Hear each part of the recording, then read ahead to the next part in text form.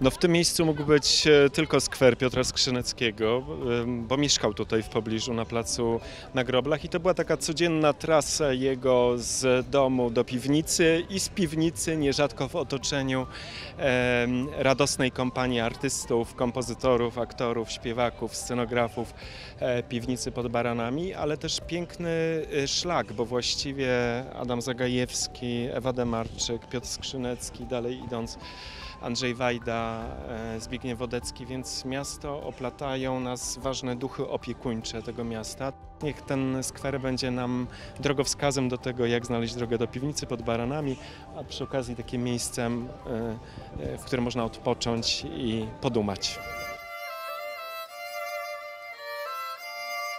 Był animatorem, twórcą, konferencjerem, artystyczną duszą piwnicy pod Baranami. I on swoim niezwykłym talentem, swoją charyzmą potrafił skleić tych ludzi. Potrafił ich zgromadzić, najlepszych z najlepszych. Cieszę się, że mamy piwnicę. Szkoda, że Piotra nie ma z nami, już 25 lat jak zmarł. Dobrze, że mamy taki sfer i będziemy się na tym skwerze spotykali u Grażyny i u Piotra. Jest to taka postać, której nie da się zastąpić, bo mówi się, że ludzi nie ma, nie ma ludzi niezastąpionych, ale jego obecność w piwnicy czuje się wszędzie, bo się czuje w każdej kamieniu, w każdej cegle, w posadzce, w schodach, no wszędzie tam, gdzie ten Piotr szedł.